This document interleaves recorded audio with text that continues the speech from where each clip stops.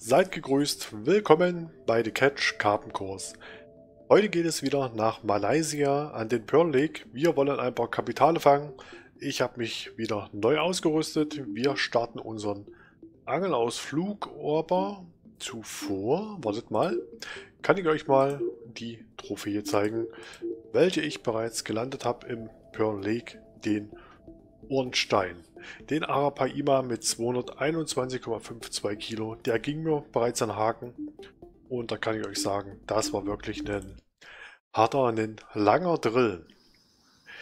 Das war jetzt nicht so, wie man das eigentlich erwartet, dass er dreimal hin und her schwimmt. Nein, der war wirklich sehr hartnäckig und das war schon nicht ohne. Ich hoffe mal, dass es uns heute gelingt, noch einen weiteren Trophäenfisch zu fangen. Vielleicht geht sogar eine Riesenbarbe an den Haken. Wir werden sehen. Ich habe mir einen neuen Angelkoffer angelegt. Wir können mal eben reinschauen, wie die Ausrüstung aussieht. Und zwar als Ruden habe ich jetzt die Sonic Extractor Rolle, die Extractor 5000 Wheel, dann die 18,4 Kilo Schnur, die größte, die es überhaupt gibt. Dann ein Zweierhaken, auch ein richtig großer, beziehungsweise der größte, der, ich sag mal, momentan zur Verfügung steht. Dann haben wir richtig große Boilies. Habe ich jetzt drei verschiedene Sorten drauf. Und dann kann ich euch noch mal ganz kurz, wartet, was zeigen. Und zwar haben sie jetzt die Fischköder freigeschalten. Die waren zuvor nicht sichtbar ab einem bestimmten Level, ich kann es euch jetzt gar nicht so genau sagen, wann das kam, wurden die jetzt freigeschalten. Hier würde ich nochmal eine separate Folge machen, wo wir direkt hier mit den Ködern angeln werden. Heute geht es erstmal hier mit Boily auf Arapaima, auf Wels, auf Riesenbarbe. Das sind meine drei Zielfische.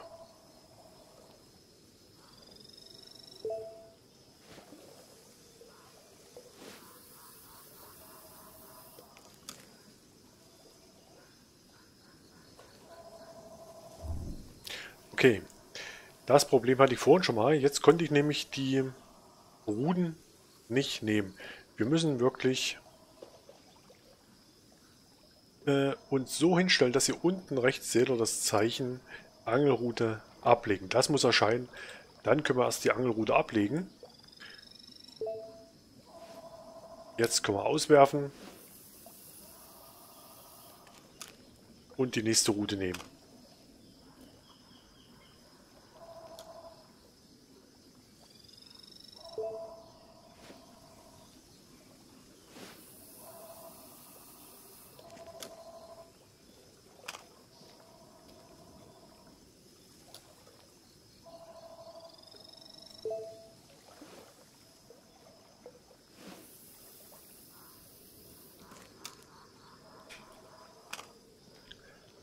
So, okay.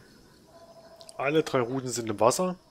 Das wird gar nicht so lange dauern, bis hier der erste Fisch beißt. Wir können mal der Zwischenzeit ganz kurz schauen. Trophäenfische. Arten, was es hier alles gibt. Den Arapaima, den hat man schon besprochen. Deadbaits, das sind halt diese Fische, diese toten Fische. Oder halt große herzhafte Boilies.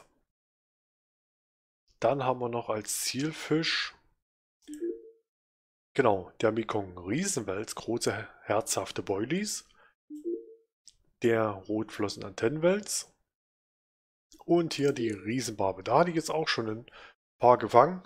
Da seht ihr auch meine schwerste 47,77 Kilo. Das ist auch nicht ohne. Da gibt es dann ordentlich was zu tun.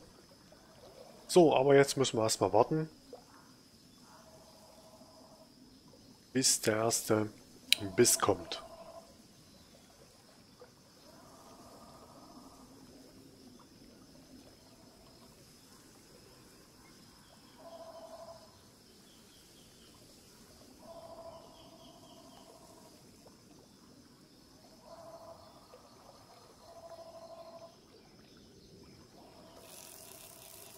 So. Da haben wir ihn schon. Auf Route 1. Der erste Biss und dann würde ich sagen, schauen wir mal, was wir dran haben.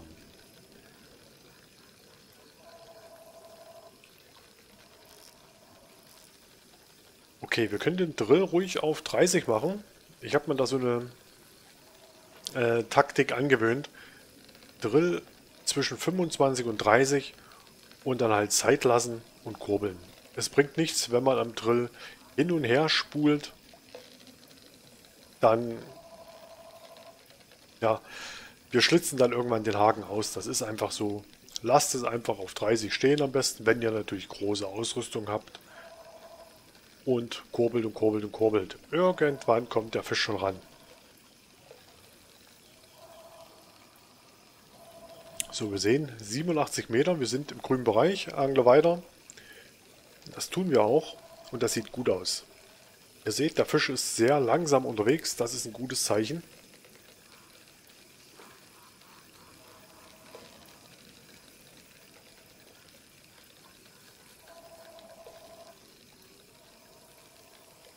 Für schnelle Fische würde ich euch jetzt eine andere Rolle empfehlen.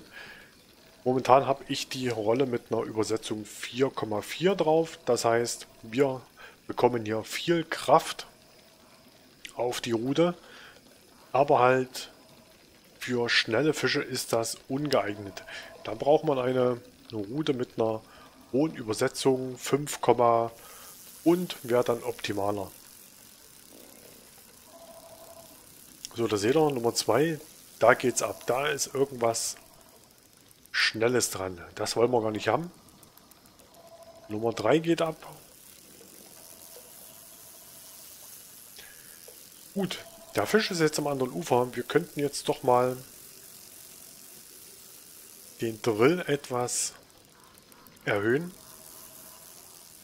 Natürlich jetzt immer die Anzeige im Auge behalten, dass man nicht oben in den überlasteten Bereich kommen.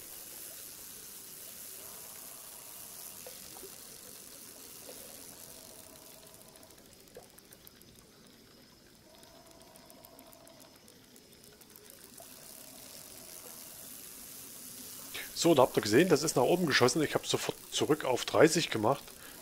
Wenn es jetzt sich im oberen Bereich einpendelt, dann höre ich einfach mal eine Zeit lang auf zu kurbeln.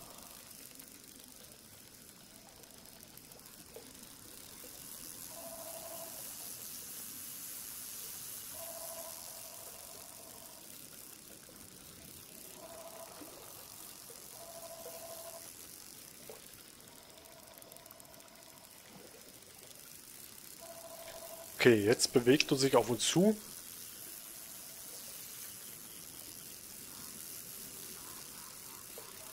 Ich war jetzt gerade schon am überlegen. Ich weiß ja nicht, wie interessiert ihr seid. Ob ihr wirklich wissen wollt, wie lang so ein Drill hier funktioniert. Wie lang so ein Drill geht. Nicht funktioniert, geht.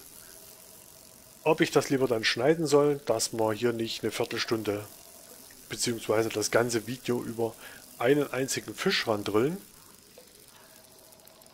Das muss ich mal schauen. Da könnt ihr mir auch gerne schreiben, was euch da am liebsten gefallen würde. Ob wir wirklich hier einen Fisch nach dem anderen rausziehen, ich die Drillphasen rausschneide oder ob ihr wirklich sehen wollt, wie sich der Fisch hier verhält, wie wir den landen.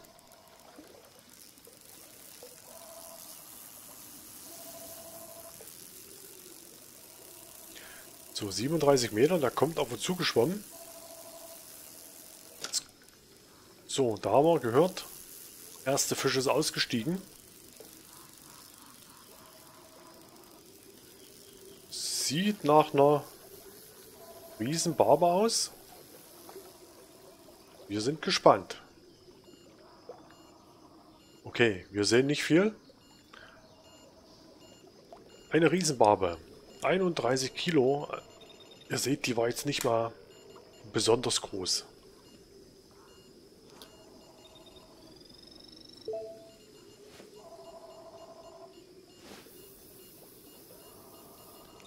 Nummer 2 war ausgestiegen. Wir schauen mal ganz kurz, was Nummer 3 sein könnte.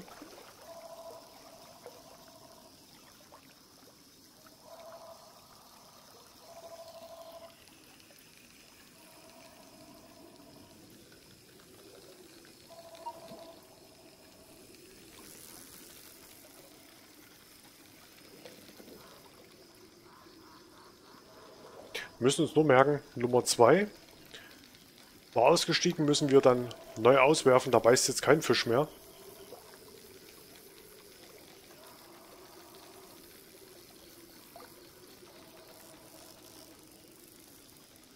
So, Nummer 1 haben wir wirklich wieder ein schönes, langsames Fischlein dran. Aber jetzt holen wir den erstmal raus hier.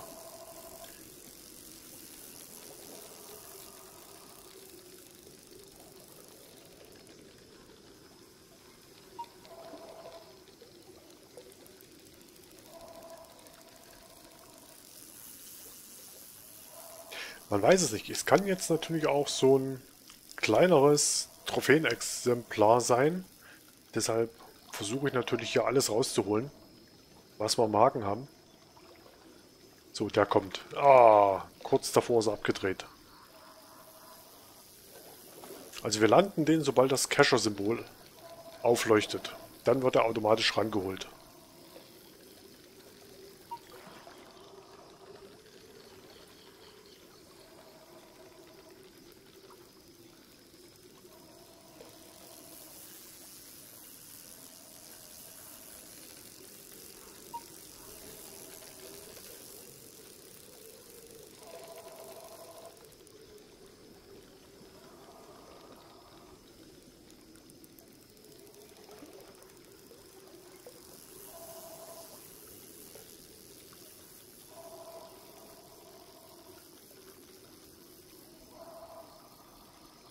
So, jetzt auf ein neues. Wir können das natürlich auch mit dem Anschlagen bzw. Route nach hinten schlagen noch etwas beeinflussen. Der Fisch reagiert drauf und er kommt nochmal ganz kurz in unsere Richtung gesprungen. So, jetzt aber, komm. Zieht er wieder ab.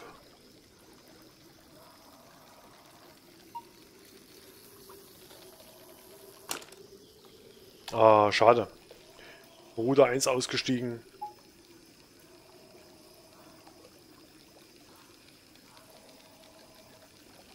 Das ist aber auch ein harter Kampf hier.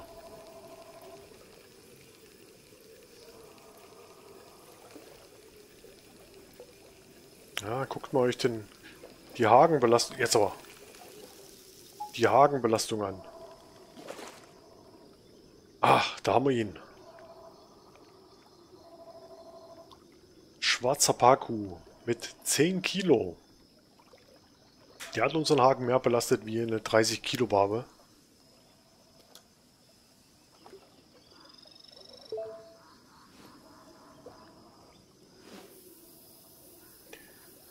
So, wir werfen neu aus. Nummer 1 hat man jetzt die größeren Fische dran.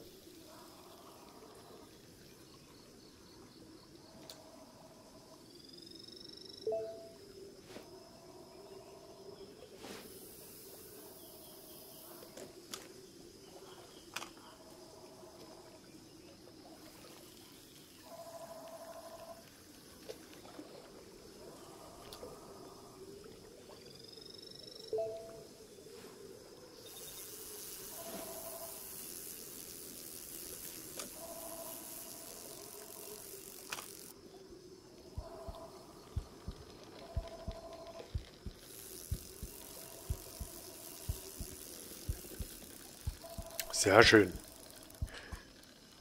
Das sieht gut aus. Ihr seht auf demselben Köder, wo wir na, na, na, na, gerade den Parkour hatten,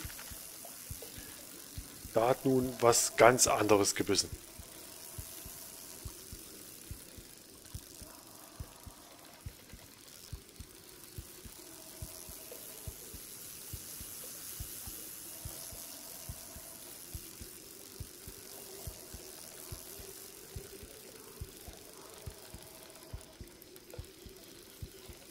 Da knirscht die Rute.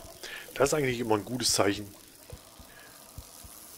Das heißt, da ist wirklich was Großes, Schweres dran.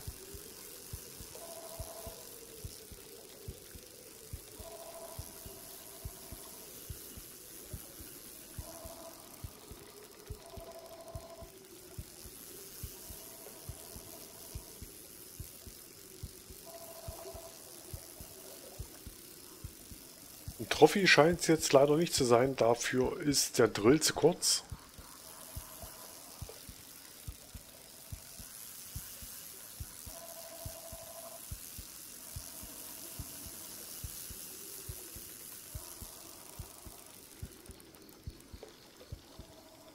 Ja gut, es kommt auf den Fisch drauf an. Ich sag mal,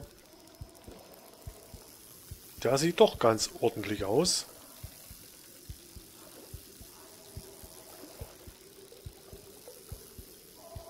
Aber ich würde sagen, noch nicht wie ein Trophy.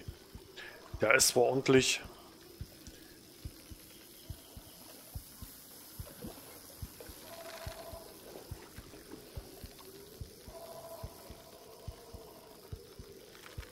Na komm.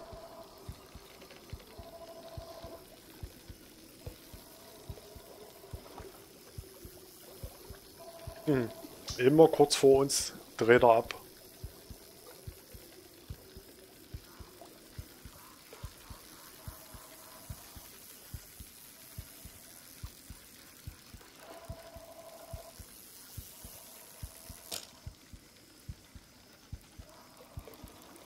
Aber das sind halt diese Exemplare, wozu unsere Ausrüstung ja ausgelegt ist. Die langsamen, kampfstarken Fische. Weil ich bekomme einfach nicht rangezippt. Manchmal klappt es, aber der lässt sich jetzt gar nicht bewegen hier.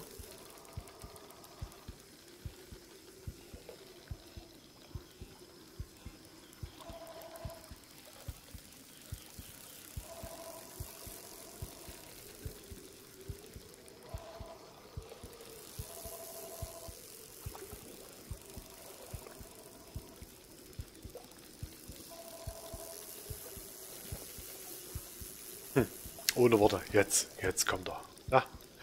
Nicht abdrehen.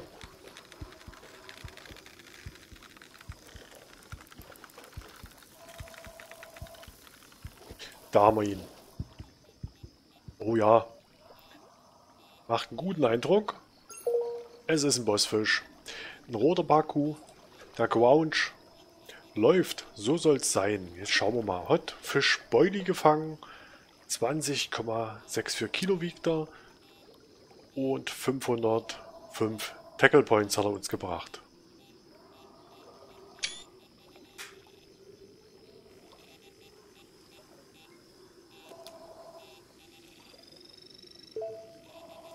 Okay, auf der 1. Wäre jetzt noch was dran, müssen wir schauen. Der ist ziemlich nah, da würde ich sofort mal die Kurbelgeschwindigkeit erhöhen, dass wir hier Schnur rauf bekommen. Haben wir hier noch ein paar Kuh? Ne, das ist wieder was anderes. Den haben wir noch gar nicht gefangen.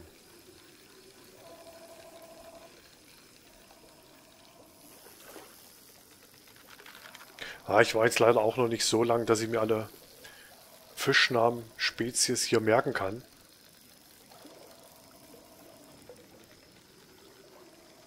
Paku, Riesenbarbe, Arapaima, sowas sieht man dann schon. Das kennt man. Aber freut mich auf jeden Fall, dass wir in der Aufnahme mal einen Bossfisch gefangen hatten.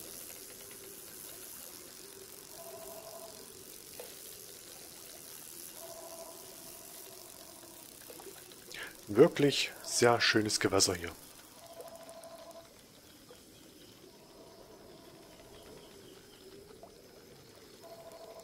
Also ich kann es euch nur empfehlen, um erstmal einen guten Einstieg zu bekommen. Das heißt Tackle Points zu sammeln. Und dann kann man ja später auch mal noch die kleineren Fische beangeln, wenn man die passende Ausrüstung und Köder alles dafür hat. So, da haben wir ihn auch. Antennenwels. So, ein Rotflossen-Antennenwels. 15 Kilo hat er, der kleine Bursche. Schönes Tierchen.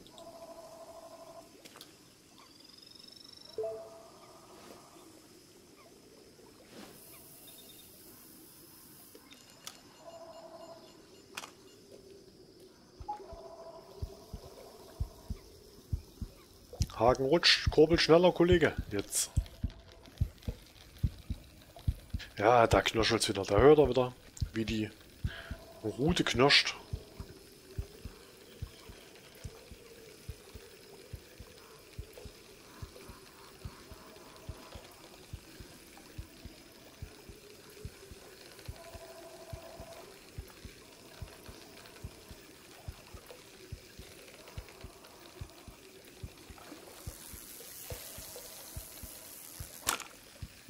Oh, das ging aber schnell.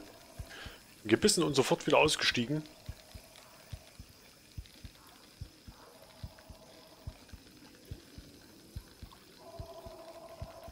Das scheint noch mal hier ein guter zu sein.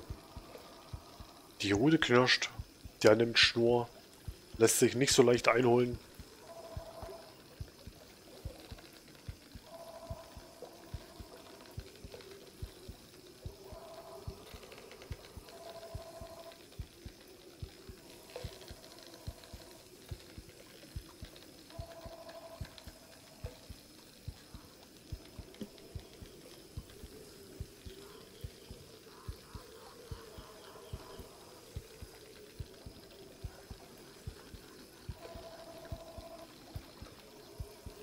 Was hatten wir vor? Eine 30 Kilo Riesenbarbe. Die hat eigentlich dasselbe gemacht. Die war hinausgeschwommen, ganz sachte rechts, links. Und nach, sagen wir mal, so drei, vier Minuten kam sie dann auf und zu geschwommen.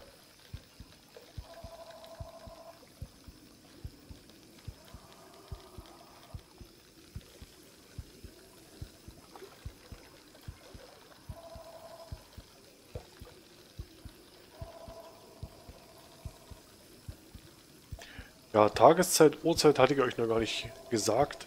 Ich habe das einfach so gelassen, wie es ist, wenn man ans Gewässer geht. Das heißt früher Morgen und leicht bewölkt.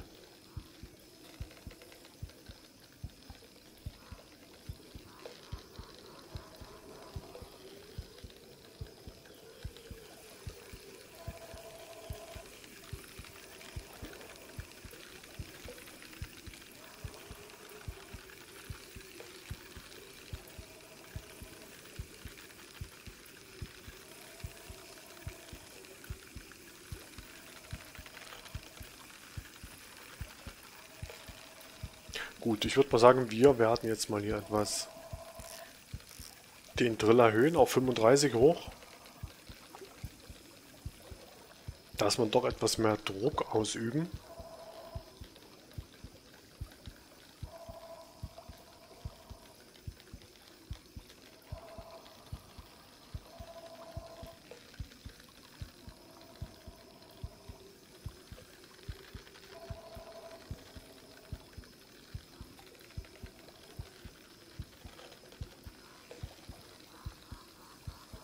Momentan kommt er jetzt langsam näher.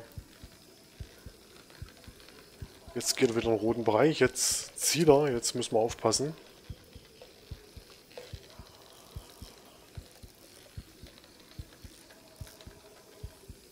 Das wäre natürlich sehr ärgerlich, wenn man so einen guten Fisch verliert. Weil man einfach weil man es einfach nicht abwarten kann und hier am Drill rumspielt, so wie ich das gerade mache. Ich hatte es euch ja zum Anfang eigentlich gesagt. Zum Beispiel einfach auf 30 lassen und die Zeit wird es zeigen. Aber ich kann es nicht lassen.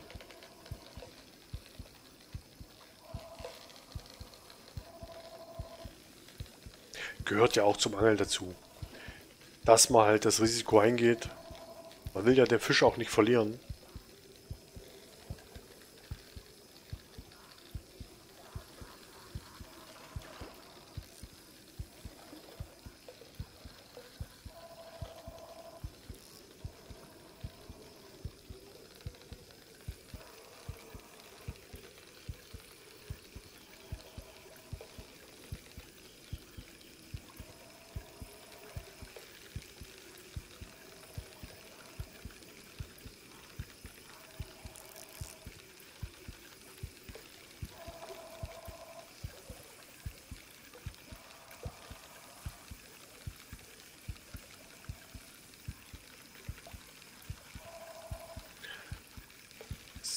So, sieht gut aus. Er kommt wieder auf uns zu. Bin mal gespannt, ob es wieder das Verhalten deutet ja auf eine Riesenbarbe hin, ob es wieder eine Riesenbarbe ist.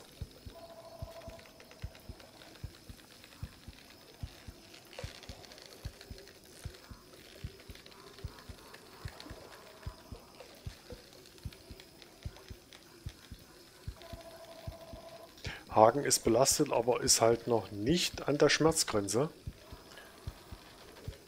wo er Schaden nimmt.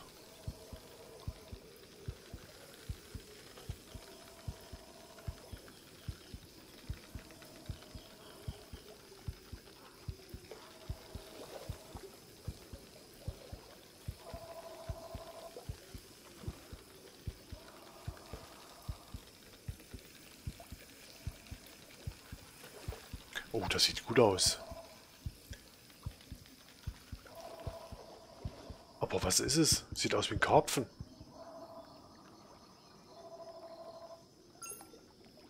Eine Riesenbarbe. 53 Kilo. Ah, leider kein Trophy. 53 Kilo. Nicht schlecht. Tackle Points 1296. So, das interessiert mich jetzt doch mal. Jetzt gucken wir mal eben in der Statistik. Riesenbarbe. Ab 57 wäre es ein Trophäenfisch. Da waren wir nah ran mit unseren 53 Kilo. Nicht schlecht. Und das soll es dann erstmal für heute gewesen sein. Wir haben es erreicht, das was wir wollten. Große Fische fangen und noch eine Trophäe dazu. So muss es laufen, so macht's Angeln Spaß. Ich hoffe, euch hat's gefallen und macht's gut. Bis später.